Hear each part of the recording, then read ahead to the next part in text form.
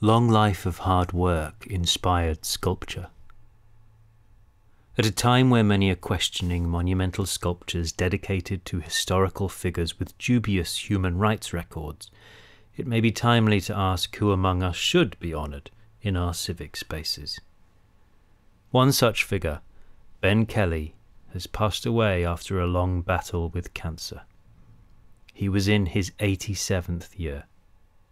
Ben was the artist's inspiration for the overall clad man in the monumental bronze sculpture Man Lifting Cow, situated in Sunshine in Melbourne's west.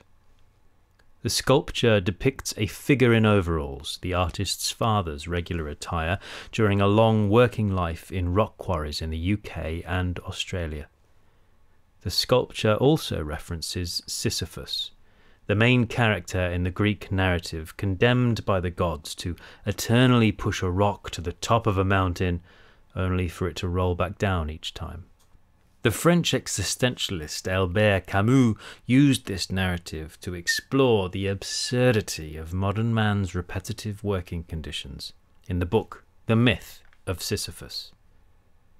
David Benedict Kelly was born in Lismire, County Cork, on October the 3rd, 1930, the youngest son of dairy farmers David and Mary Kelly, nee Burke.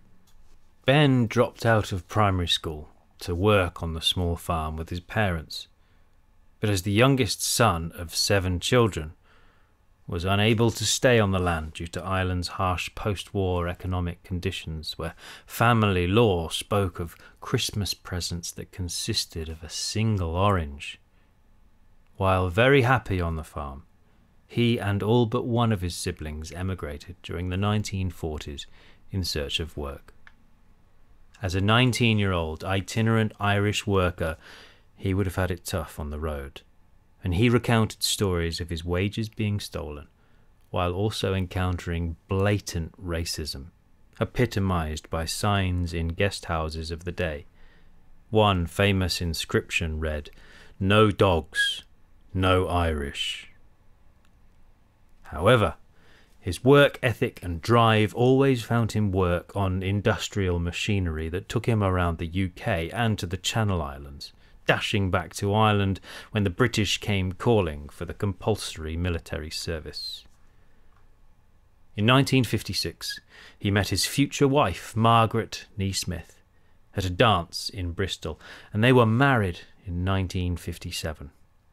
Five children, one stillborn, were born to the couple in Bristol. In 1965, the family decided to emigrate to Australia as 10 pound Poms, boarding the Australis in Southampton for the five week sea journey to a faraway land where three Australian children completed the family. On arrival in Melbourne, Ben was met by his older brother Michael, who had promised him work in Birchip. Fresh off the boat from an English winter, they were driven into the scorching heat of a Mallee summer, where Ben began work as an assistant undertaker. One of his first jobs was to pick up body parts after a car crash. He immediately asked Mick if he could work in his other burgeoning business, house construction.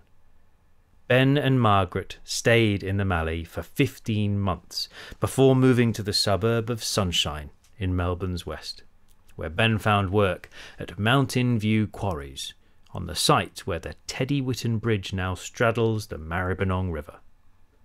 Ben was to work at Mountain View until his retirement in 2000 at the age of 70.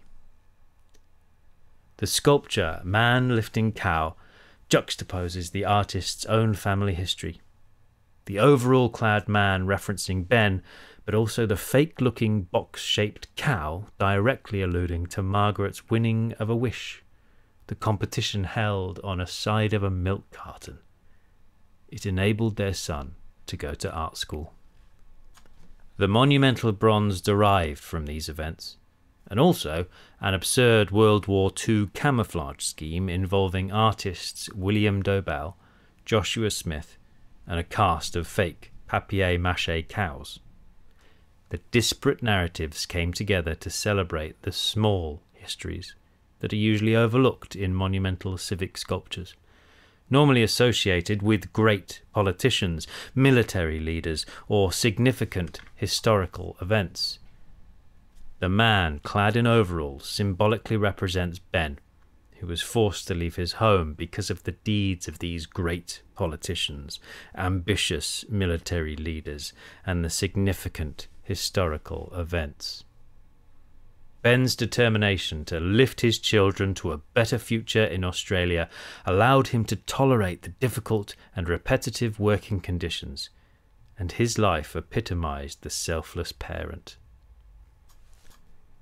As Camus did with Sisyphus, we must believe that away from his long life of shifting rocks in the quarry, and on his post work walk down from his mountain view, Ben found happiness, and never more so than when dancing an Irish jig with Margaret, his beloved wife of sixty years.